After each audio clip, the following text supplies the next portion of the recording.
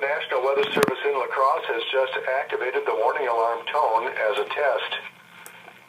During dangerous weather situations, the specially built radios are automatically activated to warn of the impending hazard. Tests of the warning alarm tone are normally conducted at this time every Wednesday between the hours of 11 a.m. and noon. If severe weather threatens the area near the normal test time, the test will be postponed until the first available good weather day. This warning alarm tone will be activated for watches, warnings, and selected statements affecting specific counties based on the transmitter you are listening to.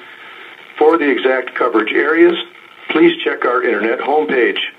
Receipt of the warning alarm tone will vary at any given location, especially at greater distances from the transmitter and in large buildings. This concludes the weekly warning alarm tone test. We now return to our normally scheduled programming.